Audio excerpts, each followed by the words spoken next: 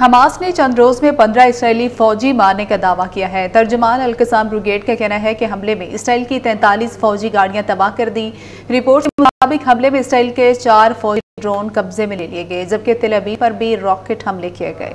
दूसरी जानब, इसराइली तैयारों की बमबारी से मजीद एक सौ तीस से ज़्यादा फलस्तनी शहीद हो गए। उधर यमन पर अमरीका और बरतानिया के हमले जारी हैं। रूस की दरख्वास्त पर अकवा मुतहदा सलामती कौंसिल का अजलास आज तलब कर लिया गया है। रिपोर्ट के मुताबिक हमले में इसराइल के चार फौजी ड्रोन कब्जे में ले लिए गए जबकि तिलबी पर भी रॉकेट हमले किए गए। दूसरी जानब इसराइली तैयारों की बमबारी से मजीद एक सौ तीस से ज़्यादा फलस्तनी शहीद हो गए।